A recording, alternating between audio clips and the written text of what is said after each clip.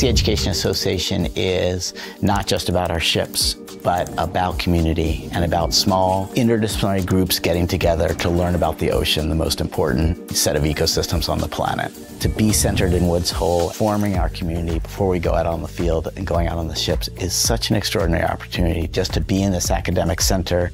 We've been planning our research based on the data that our partners want. So we've been working with government agencies and nonprofits and even local schools to kind of design our research plan. The data is going right into the hands of the people who are actually doing the protecting of the ocean. This program allows you to take that step back and not just think about the science, but also think about the people. If a student group can inform the monitoring and go out and actually survey things, then we can take this knowledge back to the villages and then they can make their own decisions.